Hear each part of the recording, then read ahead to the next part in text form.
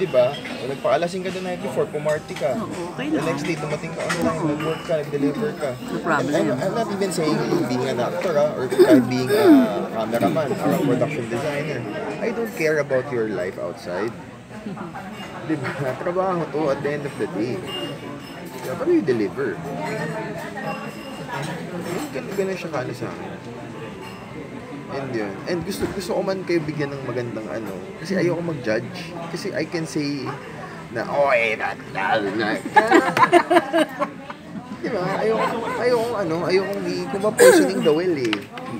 Di ba? So yun. Saka di mo mag-vlog.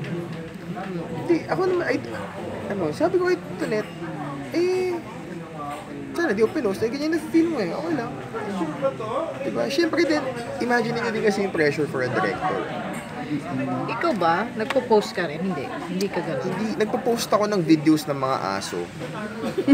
Pero hindi Tsaka, ka ano, nag tsaka Oo, yung pero pictures na ano, nakukuhanan ko, cloud porn, pag nakita ko magandang clouds, pinipicturean ko. Hindi ka nag-ano ng mga Kanya-kanya kasi yan frustrations mo. eh. Oo, Ano yung galit mo, yung ah, inis mo, hindi ka ano, hindi ka nag, yun ang way mo. Again, Ano ba? sabi ko sabi ko kanina, meron na akong selected Ah, friends. okay. Right? Tonet is one of them.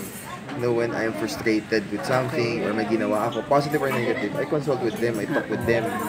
Na sasabi ko. And sila, and dahil yung iba doon kaklase ko since, since high school, parang they tell me na walang bullshit. Hmm, ang Diba? tama. Yan, Ito, ito yan. Real talk. Kumusta yung mo?